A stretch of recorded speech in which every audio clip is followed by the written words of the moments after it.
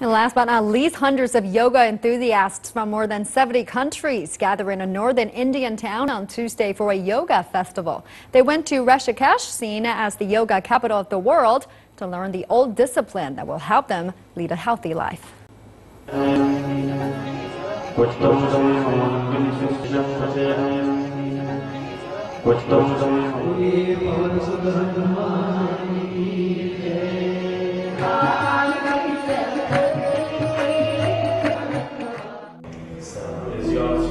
Here. You make it just point towards the body.